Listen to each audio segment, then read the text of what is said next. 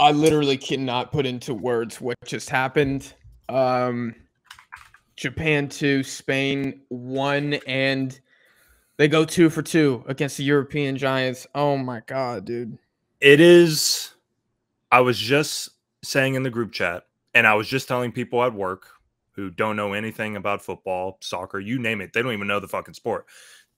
I was telling them, yeah, this Japan game at one, I have a bad feeling about it because the manager's stupid. He's incompetent. He bottled it. Huge bottle job. Oh and he did the same exact damn thing that he did against Germany. Like if you're. Luis Enrique, you're like, oh my God, I just got bamboozled again. And if you're Hansi Flick, ho- I, I, I mean, I for all Look, we got limited faults- time this video to go on a Yeah. Hansi Flick, but that's an L. That's a massive L on that man's resume right now. Yeah, yeah, and we don't have to, you know, berate Germany more than they're going to berate themselves. But going back to Moriyasu, I mean, once again, questionable people in the lineup to start the game against Spain. They had less than 100 passes, I feel like, in the first half, while Spain maybe like had like 90. 600, 700. And uh, I was like, oh my God, they're going to concede seven. This is going to be Costa Rica 2.0. And once again, the Japanese boys proved me the fuck wrong. It's crazy. Dude, is it start is it time to start talking about this Japanese defense? Cuz like they've been under pressure for basically 180 minutes total. You know, basically the whole game against Germany, the entire game mm-hmm. against Spain, they concede twice. I think it's time to put some respect on this Japanese back line. Without Tomiyasu, Yeah. no Tomiyasu, they got Yoshida, the goat. The fucking goat back there. I texted you when he had that one Gonda spills it in like the 89th minute. I think it was a Ferran Torres shot. I don't remember. I don't know. Or Marco Asensio. And then Ferran Mhm. Torres is coming in to poke it in. Yoshida just gets a toenail on it to clear it from the box. Man's 36 years old out here. Unbelievable, dude. Just I, I think his presence, and we've said it before in past videos, that Asian teams have always had a real problem in the back, you know, especially in the sticks and especially on the back line. And having guys like Ko Itakura out there, Yoshida, even Taniguchi, I thought did okay. I, I mean, would I much rather uh, someone who's more competent, like like Tomiyasu out there? Of course, you know. But I I think you're absolutely right. It cannot be overstated enough how important the Japanese backline are to this team, and they kept them in this Spanish game because they had a lot of good chances. Yeah. No, Taniguchi, I was disturbed when I saw the lineup. I was like, Moriyasu, like you said, he's he's scuffed it again. You know, with the talent that Japan has, you probably want to see as few J League players in there as possible. But I mean, he did his thing. He, I thought he had a I- good game. yeah, no, I mean he was solid, and uh, you know the first Spanish goal I thought was a howler from the defense and Gonda, but Oh yeah. I think that's to be expected from this Japanese team now. That uh, you know they let one in, and they have the mental resolve to you know pick themselves back up and uh, strive forward for success.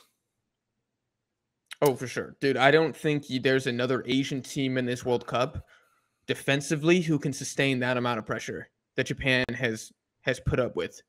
I mean, I'll give a shout out to Australia for going through. I thought they had a hell of a showing. Um, but they got blitzed by France and the Denmark, the Danish, they just didn't really show up this tournament. Um, it's I just can't say enough about the the solidity of this group. And they didn't like Wataru Endo didn't even come in till like that 88th minute. Your most heart of the defense. prolific, yeah, yeah, exactly. Your most prolific defensive midfielder didn't even play the whole fucking game. Yes. which is insane. Those guys- And I mean, uh, I it was it was a great showing. I, I I mean, I don't think for the people that didn't watch the full game or only watched one half, I would implore you to go you. watch both of them because it's literally night and day difference. Mm-hmm. Mm-hmm. Yes, but you might even be able to tell people like you could probably just watch the Germany game again because it was kind of like that. Japan were awful in the first half. Which I Like don't they know if- trash. like I have no idea if that was like it's got to be part of the tactic, right? There's no way that it's not at this point because they literally did, I feel, the exact same thing against Spain. It, it, it was the Germany game plan against Spain. Maybe. And I mean, you know, maybe it's a stretch to say that they're doing it on purpose, but once again, I think it's a European arrogance thing where they think this Asian team's going to come here. They don't know these guys at all. They're just going to pass around, do their own thing, and not expect, you know, fast counters from them. And they got sliced and diced, both of them. They got sliced and diced. And Mitoma, again, coming in for Nagatomo in halftime, changed the game, changed the game entirely. In I mean, the amount of times I saw Nagatomo, it, it, was probably only three times in the first half bring it forward. I was like, he's going to lose it. He's literally going like half the speed of like the slowest Spanish player, mm. I feel like. He just ain't got it like that anymore. Uh, it's just, yeah. And the hair. But dude, oh God. Well, I mean, I'll give him credit for for trying. That for for a Japanese man, that is that is a risky maneuver. It does take some I'll give him credit for, for sure, but I'm like, holy shit. It's it's uh it's a little too much we needed that at, at like 2010 South Africa. That's when you bust that out. I think now right. it's a little, it's a little right. late. Um, and then Kubo coming off at halftime again. Thought he did, pardon my French, fuck all this game again. Kind of like a non-factor. I don't know how any Japanese player or, or fan could advocate for Kubo to start over Mitoma ever.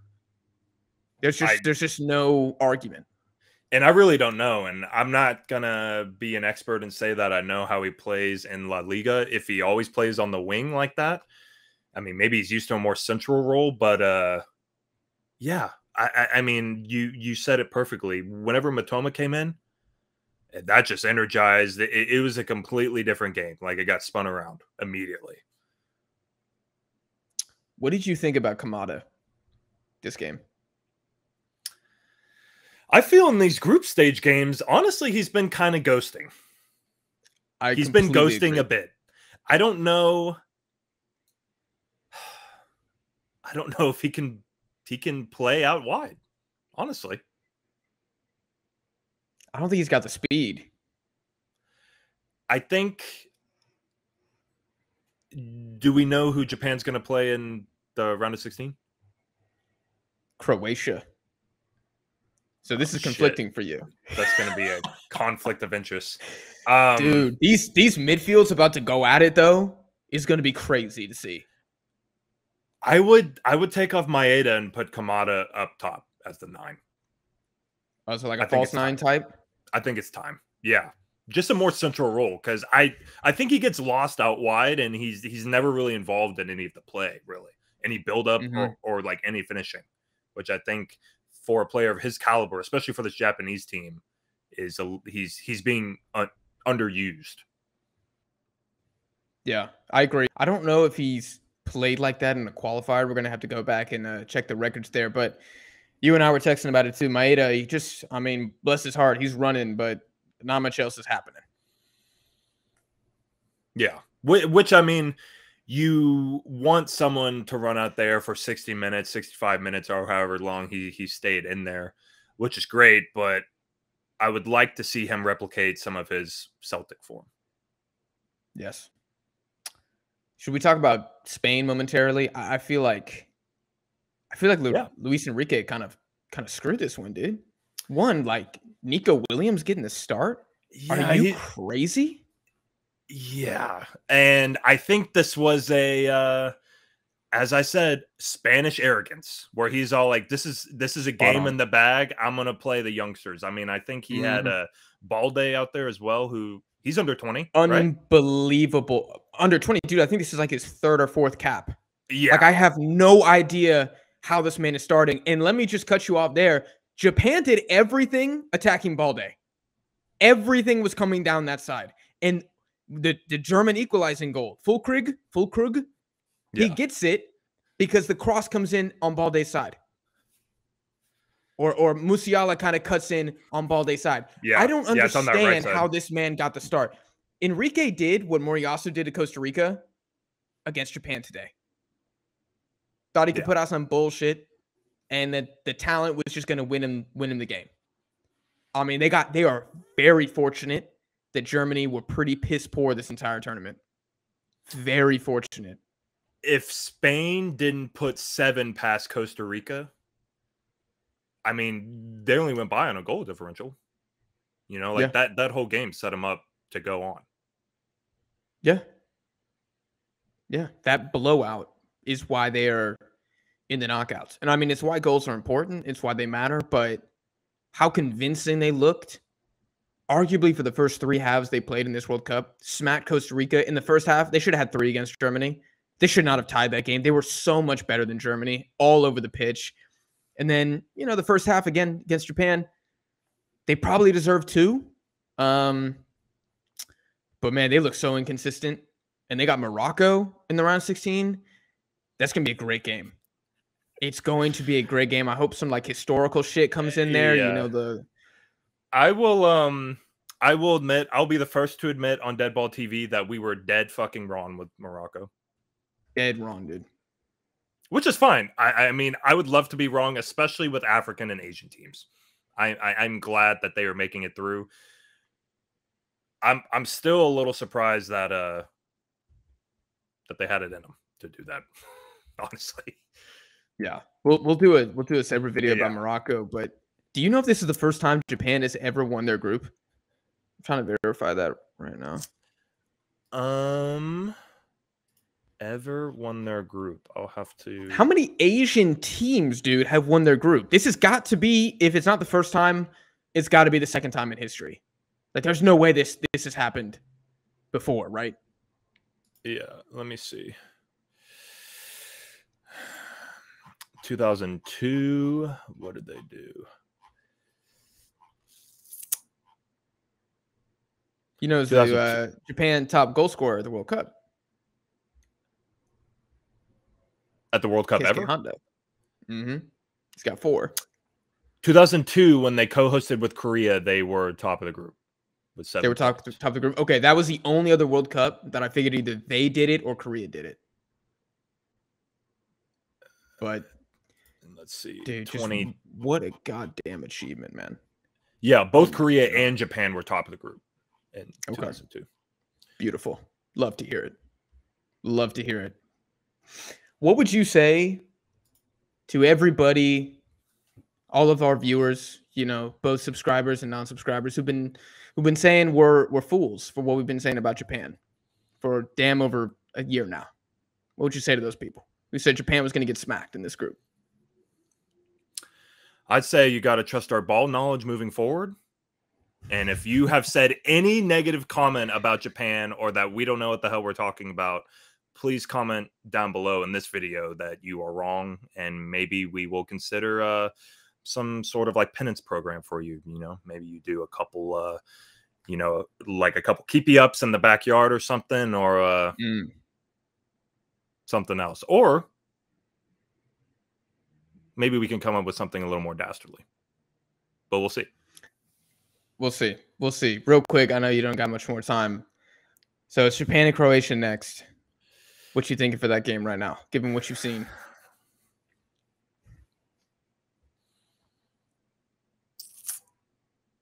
I think it's going to be interesting how Japan is going to look at breaking the Croatian. It's not really a low block, but it's not really. It's just, it's just kind of like a, kind of like a hard wall back there.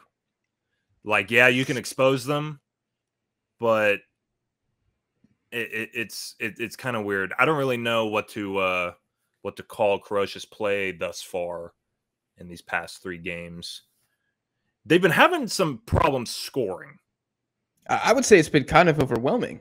Like, let's be clear: if Lukaku was even at ten percent capacity, Belgium go through and Croatia don't advance. Yeah, today, like they were they were pretty boring against Morocco. Probably should have won that game, but we're barely the better side. Blitz Canada because John Herdman called him out, and we're very, very lucky today against Belgium. Mm-hmm.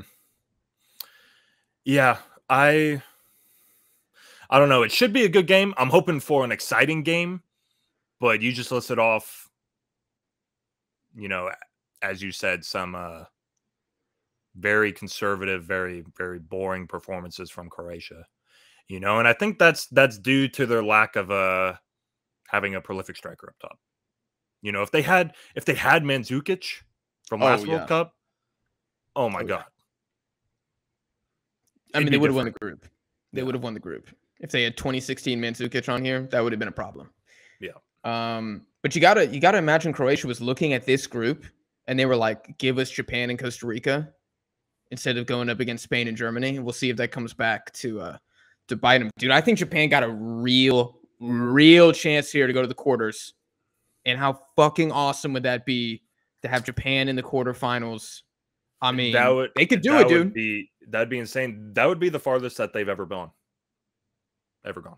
Yeah. Yeah. It's just They could do it against this aging Croatian side. I, I mean, while I do They love the. Croatians, um, you know, I think Modric's best years are behind him. Kovacic, you know, he's been a, he's a. He he's been a workhorse for sure, but I he's not to the same level as uh as as Modric was or when whenever um I'm not even sure how many minutes he got in uh 2018, but uh yeah, I I I- I think there are Sure. some glaring holes in Croatia's side, and hopefully Moriyasu and the boys can uh, come up with another brilliant game plan that and leave people guessing because because I have no idea what they're doing. Because we're guessing. Yeah, We're guessing, bro. Like, who knows what Moriyasu is gonna do? He's gonna start Kubo again, and then you and I are gonna be like typing in the chat, like, what the fuck is going on? How many times does this man have to do this? right. It's just he's he's the most confusing manager in football. Like I can't think of anybody else who leaves so well, maybe Gareth Southgate, who leaves so many of their best players on the bench. Like he doesn't have a super sub. He's got like a super like like second half game plan. Where he's like, I'm gonna put in a fucking squad rotation right. now. I'm gonna put four guys in at halftime. And it's gonna change the game. It's not one dude. It's like he just puts in a, a new left side of the pitch. And he's like, all right, now we're gonna go. It's literally like in FIFA when you pause the game and you switch the tactic up entirely, Yes. and you just play like it, it- it's just like a completely brand new game. Yes. Yeah. So I, I don't know what to expect.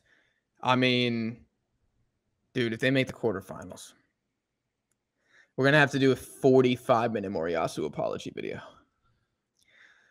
I I'll do it. I- I'll I'm do it okay with too. that. I'll do it. I'll do it too. I, I, I can't believe the fact, bro, that they beat Germany and Spain and lost to Costa Rica. That's the most Moriyasu thing ever, honestly. And we've said it before Japan play up. They certainly played down to Costa Rica. Um, shit. I'm excited. That's gonna be such a great game. I think that that might be Sunday's game or maybe Monday. I can't remember, but um, hopefully it's while you're down here. I just want to also say about Spain, dude. If they don't fix that play in the back, they're done against Morocco. If Unai Simon and Rodri and Pau Torres keep passing like that, they're done. yeah, I don't know what like have they just not done it enough together? It's it's very strange because every all the other nine players on the pitch can do that. Eight players. But those three Nope. in particular that you called out seem to always be fucking around with the ball. Like truly effing around with it. But if I remember the Euros correctly, and honestly, some of the qualifiers, this has always been a problem with Unai Simon. Like Luis Enrique wants a goalkeeper who can play it with his feet, and that's why he's chosen Unai Simon because apparently he's the best passer. Like that's why De Gea is not in this team. But he looks like De Gea when he's got the ball. Like the man has no idea what's going on, and it's like the Spanish midfielders are not dropping in and creating passing lanes for him. The fullbacks are just kind of standing still. So Yeah. Unai Simon is having a fucking hit, hit the uh, opposing nine with a croqueta or something to like get the ball around him. And it's I'm like, this is going to backfire eventually. And it kind of today, Japan didn't directly score off one of those, but they got close twice. And I feel like if they if they play like that against Morocco, and Nesyri's looked pretty good with the pressing. I mean, their first goal today was, I mean, actually that was that was kind of a ball over top. I'm, I think I'm conflating two games, but Morocco could catch him, and Enrique is going to look like a major dumbass for calling in all these young kids, leaving a lot of talent at home if they cannot beat Morocco in the round of 16. I just, Wow. That would be Pedri that would be a huge L. That'd be a huge L. Okay, it, uh, one of the last things. Is this worse than Germany going out in 2018? What? Them going out in 2022? Y- yeah. Yes. Yes. Absolutely. You think it's is worse? Yes. Okay. Why? Why? I think 2018 was them bowing out of the group was kind of a uh, a culture shock, if you will, to try to get them to switch things up. You know, that's when um, they were like, okay, we need to reanalyze things. And I would imagine that the German Federation was like, okay, 2022, we got four years to go. Let's turn it around here. You know, let's get rid of Löw. Let's bring in Right. someone else. Flick, I guess, became available, or they convinced them to uh, do this. They paid him. He's the highest paid international manager in the world. I'm not sure if you knew that. And so they paid this man to I make it out of the groups. And this is just a huge, huge embarrassment for the entire country. I, I, I like, I, I don't know. We'll have to verify if they've ever bowed out of the group stages twice in their history, in back-to-back consecutive World Cups. Oh, I don't know. But for a powerhouse, a historical powerhouse, I, that that's just unacceptable. And every time I, I- saw them play, it's it's not a talent thing. It's like a mental thing. They're like mentally fragile. It's very very weird. Very unlike the uh the It's literally un-German. German team. It's un-German of them to do this. Yeah. I completely agree. I think I was initially going to disagree with you, but now that I'm thinking about it, like Hansi Flick, dude, I've heard this man get gassed up so hard by everybody who's like a ball expert, talking about he's the best manager. Look what he did with Bayern. Oh my god, like Joachim Löw, that Germany was trash, but like Flick Germany, like Flick Germany, they don't play around. Bounce in the group stage, bro. Third place. Hold that L. Hold that It's- L. I agree. A I agree. massive L. Huge. L. And this might be a hot take. I think a good amount of that maybe falls on uh, who he brought. Oh my god, without a doubt. Without a doubt. Dude, that that German back line is suspect. It's really suspect. And like respect to Füllkrug, but if he is the if he is who Germany is looking to to score goals, oh how the mighty have fallen. Yeah, and I, I mean, I don't. I know Werner had a good, um, a good qualifying run with them, and was doing. You know, he's scoring goals in the Nations League and stuff, but not having anyone in the national system to be a backup to that man is crazy. And Yeah. I, it's sad to say that I think Mueller should have never started any of these three games and uh Neuer didn't look the same as well. It looked he he had a couple howlers. Yeah. I mean, you told me Germany if they eat 5 in the group stage, I'd have been like uh, something something went drastically wrong. And it did. Yeah. That's just okay. That's crazy. All right, yeah. all right. Very, very last question. If you had to highlight th- or shout out three Japanese players from the group stage for doing their thing, putting the team on their back, what three would you do? Three players. I've got to shout out Gonda. Honestly, You even shout out even, Gonda. even with some bad saves, he he Hey, he did still- okay. He did okay today. He, He did was okay today. today. He did his job today.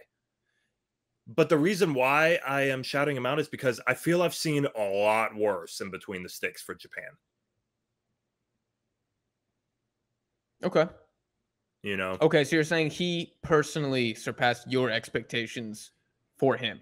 yes, yes. Okay. That's fair. Okay. So Gonda. Gonda got to shout out Yoshida. You know, Yeah, as Yoshida as as we were talking about in the beginning, I think you know having an experienced guy on the back line who doesn't play in the J League, plays in the Bundesliga, you know, and has been there for a while at the top of his game. You know, while he's up there in age. in Europe. Yeah. Yeah, yeah, just having a player who's been in Europe for a long time. I mean, it shows. It, it, it really shows. I feel like it's it's very uh, calm and collected. It's like he's seen this before. You know, I feel some of the J League guys are like, "Oh my god, I'm out of my depth." Certainly looked that way in Costa Rica. Okay, okay, but okay, so that's two. Gonda, Yoshida. Who's your third? My third. It's got to be Mitoma. I love watching that dude play. Dude, he's so good. He's so freaking good. Okay. That's fair. I think I would go. I got to go Ritsu Doan, bro.